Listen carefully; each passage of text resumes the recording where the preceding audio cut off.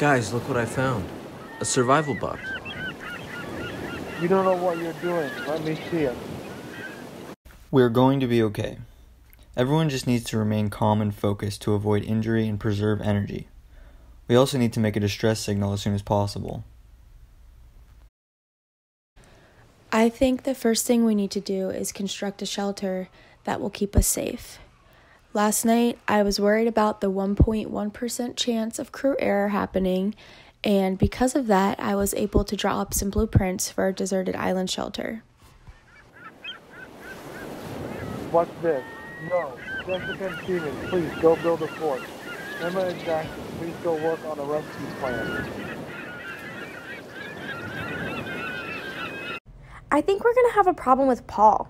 He's being very arrogant and bossy, which are poor leadership qualities.